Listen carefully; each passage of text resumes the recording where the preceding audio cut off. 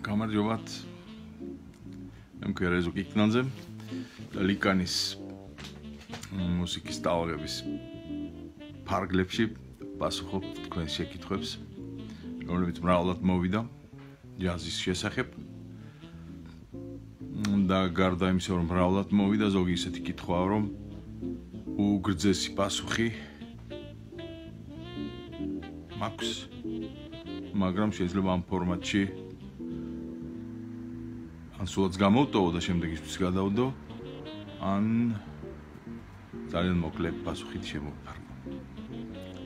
მაშინ ასე პირველად როდის მოусმინე ჯაზს და რომელმა ბენდმა თუ სოლო არტისტმა მოახდინა ყველაზე დიდი და დასამახსოვრებელი გავლენა შენზეო.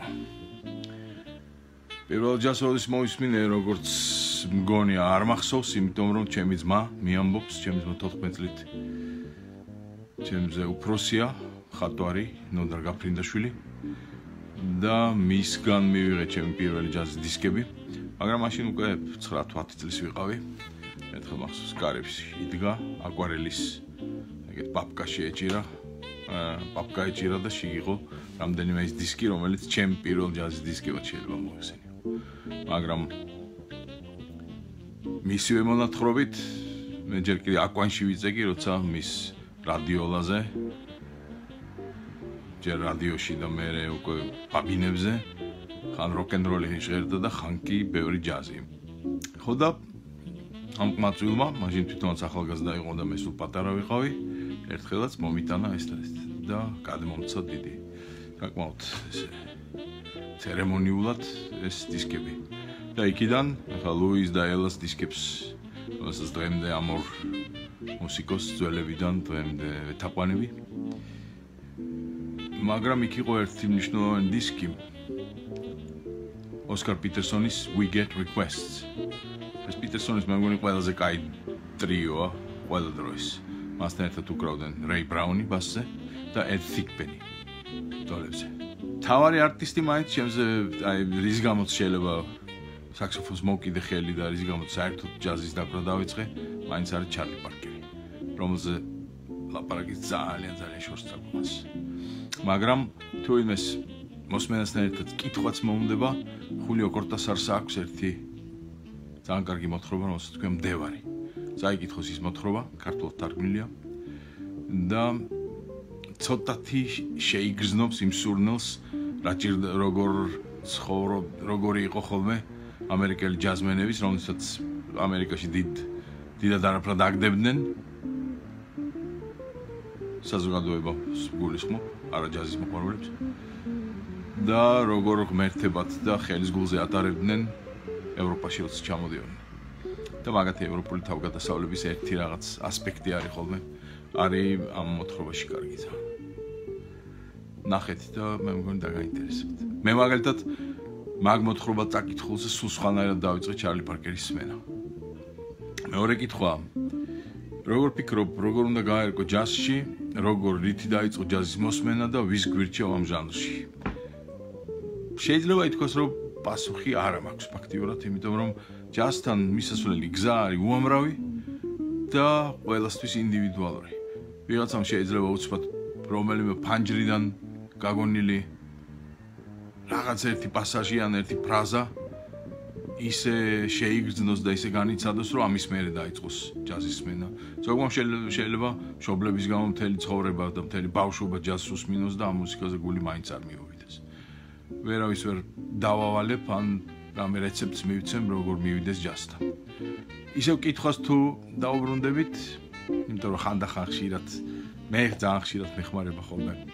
სწორედ ლიტერატურასთან და კითხვასთან პარალელები ძალიან ბევრ რამეში არის ერთი შესანიშნავი ჯაზის ცოდნე, მოყვარული. მე ვიტყოდი რომ ჯაზმენია, მიხედავთ იმისა რომ მუსიკოსი კი არა, უფრო მწერალია. რომელსაც ქვია ზურაბ ქარუმიძე. აი მისი ნაწერები ჯაზზე თუ ერთხელ მაინც ჩაგივარდებათ ხელში, წაიკითხეთ და ნახავთ კიდევ ერთ ძალიან ფართო და იავარდით მოფენილ მისასვლელ გზას ჯაზთან. რატომ არის ეს ჟანრი შენთვის მნიშვნელოვანი? მართლა ეგრეა, ჩემთვის როგორც მუსიკისტვის, მუსიკოსისთვის ძალიან მნიშვნელოვანი ჟანრია, მეხოთ იმისა, რომ 1000 სხვა რამეს მივედი მოვედები და ყველაფერს ვცდი ორიგინალში. ვარ კომპოზიტორი, ჯაზმენი არც კი მეთქმის პრინციპში, იმიტომ რომ კარიან ჯაზმენები ზურაბ რამიშვილი, გიორაქვიაშვილი, თამას ყურაშვილი, მათი ჯაზმენობა მაინც განსაკუთრებული მგონია და მე რაღაცას ვცდილობ, მაგრამ მაინც ჩემი მთავარი პროფესია კომპოზიცია. კლასიკური თუ რას ქვია, მაგრამ თანამედროვე კლასიკური კომპოზიცია კი. მე ხო თიმისა რომ ელექტრონულ მუსიკასაც მივედმოვედები თავის ძუზე მგალობელიც ყოფილვარ, მაგრამ ეს მუსიკა მაინც მთავარი აღმოჩნდა იმისთვის, რომ მუსიკოსი გამختارიყავი. უკვე არ ჯერ არც კი ვიცოდი და უკვე როგორც ჩანს მუსიკოსობა მქონდა განზრახული შინაგანად და ქვეცნობიერად როცა ვსწავლობდი ფილოლოგიას და უკრავდი საქსოფონზე გოგინა კაიძის კვინტეტში. ეს იყო ჩემი პირველი და უმთავრესი იმპულსი და გამოცდილება ჩემნაირ ტიპებთან ერთად ჯაზის დაკვრის იქ იყვნენ გოგინა კაიძე ზურა შამუგია ბასზე და ძიმა სალაძე უკრავდა საყვირზე დრამერები გვეცვლებოდნენ ხოლმე. უგზარი იყო რაღაც დრო მე ერთი იყო ორესტ მუსტიდი. და ძალიან მნიშვნელოვანი აი მართლა საფუძვლებიო თუ შეიძლება ვთქვათ ჯაზისა მივიღე მათთან დაკვრის დროს. ну იქ ხდებოდით ჩვენზე უფროსებს და ჩვენს კერპებს მაშინ თათუზა იქნებოდა ეს თუ ლავრიკა ჯინჭარაძე სამ გოგისთან დაკვრის დავიწყებდი მანამდე უკვე უნივერსიტეტის ბენჩი უკრავდი რომელსაც ენრი ლოლაშვილი მეთაურობდა.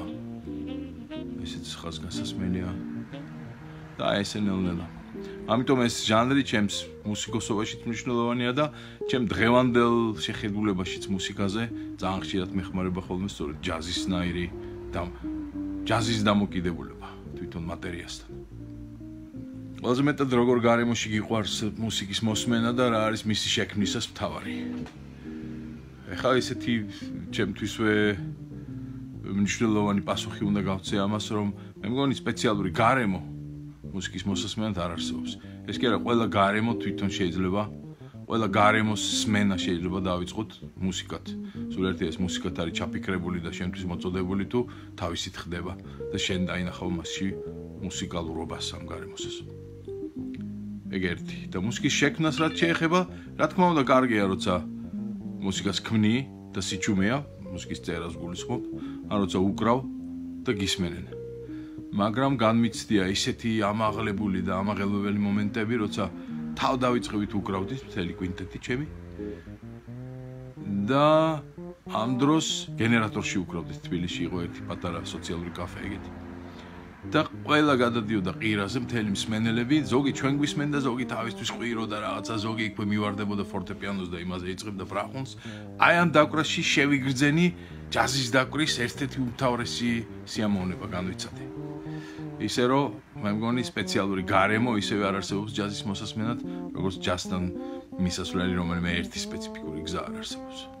მოგვიყევი cool jazz-ის შესახებ, ფუ, cool jazz და ეს მოგონილი სიტყვები რაღაც jazz დაერქმეოდა ხოლმე. ეხლა Miles Davis-ის დაკრული, რომელსაც ყველაზე უფრო აკავშირებდნენ cool jazz-თან, იმიტომ რომ ყველაზე უფრო cool ტიპათაც მოიხსენიებენ ხოლმე. Miles Davis-ის დაკრული მანამდე Charlie Parker-თან ერთად bebop-ს რო უკრავდა, არის ფასდაუდებელი. და ეს cool jazz-ი რო არავის აღარ ახსოვდა როგორც სიტყვა მას მერეც. და როცა ეს cool jazz-ი წარმოიშვა და მის ერთ დისკსაც ქვია Birth of the Cool, შედევრია მართლა, იმიტომ რომ იმისთან მუსიკოსები უკრავდნენ ისეთი რამე შეიქმნა იქ იმ დროს ჯაზში კომპოზიციის თვალსაზრისით, რომ მართლა წარმოუდგენელია, მაგრამ გრძლად ამ თემაზე ვერ ვილაპარაკებ. დრო მენანება და ალბათ ეს მაინც ამოიჭრება. მოგვიყევით თქვენი ექსპერიმენტების შესახებ ჯაზში. ნო, ჯაზი მართლა ეგეთი ხელოვნებაა, მასში ყველაფერი შეიძლება მოხდეს, რაც კი მუსიკაში მომხდარა და კიდევ მოხდება. ჯაზი არის ის ღია და პრინციპში ჭურჭელია, რომელიც ნებისმიერ შინაარსით ივსება ხოლმე. და ჯაზ შეუძლია ნებისმიერი მუსიკალური მოვლენა, ეთნო მუსიკალური თუ კულტივირებული, კლასიკური, ძალიან კაცრიც კი ისე შეისის ხორცოს და გაითავისოს და ჯაზად აქციოს, რომ გაგიკვირდეს ადამიანს. ამ ამ ზერელე რაღაცების გაჯაზებას, რა თქმა უნდა, სულ არ გულისხმობში. ჩვენი ექსპერიმენტებიც ყველაზე ძვირფასი მახსოვს მოძრაობის თეატრში. კარგა ხანს 1-2 წელი გრძელდებოდა ეს. ყოველ სამშაბათს და ხუთშაბათს, სამშაბათს უფრო ჯაზის ჯემები იყო ხოლმე, მაგრამ ხუთშაბათობით ჩვენ გქონდა რაღაცნაირი თავისუფალი იმპროვიზაციის საღამოები უცნაურ და ძალიან საინტერესო დამკვრელებთან ერთად, რომლებიც თბილისში არ ცხოვრობდნენ. მოგვიყევით ჯაზ შემსრულებლების ახალ თაობაზე საქართველოსში თქვენს მოსწავლეებზე.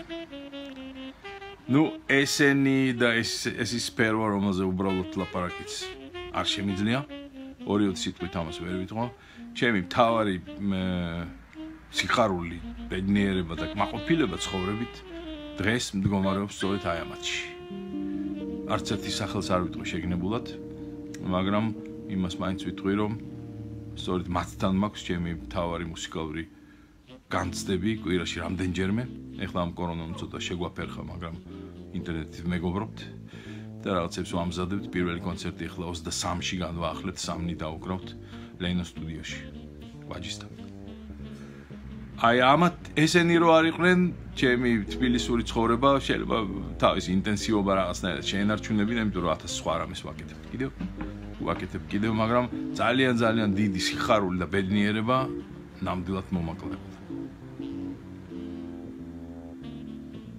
და შეხება ჩემს მოსწავლეებზე კი არა, უფრო ხანდახან მე ვგზნობ ხოლმე თავს მათ მოსწავლეთ, იმიტომ რომ ძალიან ბევრ რამეს ვსწავლობ. თავისთავად სწავლა ისეთი რამე, რომელიც ძალიან მიხარია ყოველთვის. და როცა ვხედავ მათ მუსიკალობას, მათ განვითარებას და მათ აღმაფრენას ძალიან ძალიან პირდაპირ გაკვეთილებად მ ვიღებ ხო. ხშირად ჯაზ და ბლუზ ერთ ჟანრში მოიაზრებენ ხოლმე. ამასთან დაკავშირებით რას გვეტყვით? ჯაზთან ერთად შეხმატკმილებულად შეიძლება მოვიაზროთ უამრავი სხვა მუსიკალური სტილისტიკა და ბლუზი კი ერთ-ერთი ის ერთ-ერთი ის სფეროა, რომელშიც შეიძლება ითქვას ჯაზი განვითარდა. როგორც ბლუზი განვითარდა, აი ზუსტად იმავე გარემოებებში დაიწყო ჯაზმა ჩასახვა და განვითარება. ამიტომ შეიძლება ეს რაღაცნაირი ასოცირება ერთმანეთთან. სწორიც იყოს. მაგრამ მეორე მხრივ ბლუზი დარჩა თავის ბლუზად, ხოლო ჯაზმა გააგრძელა განვითარება და სხვა რამეებათაც განვითარდა. ამიტომ ჯაზის და ბლუზის გაიგივება ნამეტანია. მაგრამ ერთმანეთთან ასოცირება შეიძლება. თქვენი აზრით ჯაზი აფრიკიდან იწყება და შავკანიანებს ეკუთვნით? ვერც დასაწყისზე ვერ ვიტყვით რომ მაინდა მაინც აფრიკიდან იწყება. მიუხედავად იმისა რომ აფრიკული მონაწილეობა, აფრიკული მუსიკალობა ძალიან დიდი მონაწილე, ძალიან დიდი წილია აფრიკული მუსიკალობისა ჯაზში. მაგრამ აქ რო არ იყოს ევროპული მუსიკალობა და სამხრეთ ამერიკული მუსიკალობა და პრინციპში ყველა კონტინენტის, არ ვიცი, ანტარქტიდის მუსიკალობაზე ვერ ვილაპარაკებ, იმიტომ რომ პინგვინების მუსიკა შესწავლილი არ არის. მაგრამ პრინციპში ყველა ეს მუსიკალობა არის ჯაზის მასაზრდოებელი. და შეიძლება ითქვას, რომ დასაწყისიდანვე, როგორც ამერიკა იყო აი ამ ყველას სახლი, ყველას ყველა ეთნიკური ყველანაირი ეთნიკურობის მიმღები თავის თავში. აი ესეა ჯაზი დღესაც კი და დასაწყისშიც ეგრე იყო ფაქტია. ამიტომ მგონია რომ არც არის არ ეკუთვნის ჯაზი და ჩვენ ყოველას ხანდახან გვაქვს ხოლმე ბედნიერება ვეკუთვნოდეთ ჯაზს. ჰუ, ჯაზის და მეტალის სინთეზზე რას გვეტყოდით? ან ზოგადად ჯაზის სინთეზზე სხვა ჟანრებთან. ეს უკვე პრინციპში ძინა კითხებში რაღაც გაკვირთ მაინც გაცემული პასუხი. ჯაზი არის ის ხელოვნება რომელშიც ყველაფერი შეიძლება მოხვდეს და გახდეს ჯაზი. ამიტომ ეს სინთეზი საკმაოდ დასაშვებად მიმაჩნია. კი არა გარდაუვალადაც კი. როგორ და რამ შემოაღწია? თავდაპირველად საბჭოთა სივრცეში ჯაზის სახით მე მგონი აი ავტორიტარულ ქვეყნებში როგორც არის ფაშისტური კი არა ნაცისტური გერმანია და კომუნისტური საბჭოთა კავშირი მან ეს ჯაზი ჯერაც გასართობ და მე გადმო საბჭოურებულ ან გადაგერმანულებულ საესტრადო მუსიკად კარგა ხანს არსებობდა, მიუხედავად იმისა, რომ ჯაზი უკვე დაგმობილი იყო როგორც ნაცისტების მიერ, ისე კომუნისტების მიერ. ჰიტლერის დროინდელ გერმანიაში ჯაზს იხსენიებდნენ როგორც entartete music, გადაგვარებული მუსიკა. აკაც არის რაღაც ერთი ორი მწარე ნათქვამი კაპიტალიზმისტური და ბურჟუაზიული სიცუდის შესახებ ჯაზის კონტექსტში, მაგრამ ჯაზის მუსიკა, რომელიც ჩვენ ერთხელ თუ შემოახცებს ჩვენს გულებში, ვერანაირი კომუნიზმი და ცეცხლი და מחვილი და ვერაფერი ვერ იმას ვეღარ ამოშალთავს. ამიტომ მგონია, რომ ჯაზის ამბავი საკმაოდ კარგად არის. საქართველოსშიც და ყველა სხვა ქვეყანაშიც, იმიტომ რომ ჯაზი აღარ არის ძალიან დიდი ხანია უკვე აღარ არის მარტო ამერიკული მუსიკა. აი ასე მე მგონი ძალიან გამიგრძელდა პასუხები, ეხა კი დაგემშვიდობებით. დიდი მადლობა კითხვებისთვის. იქნებ კიდევ გაგვიგრძელდეს ეს მუსიკალური ტალღები ლიკანის წყალობით. ახონდის.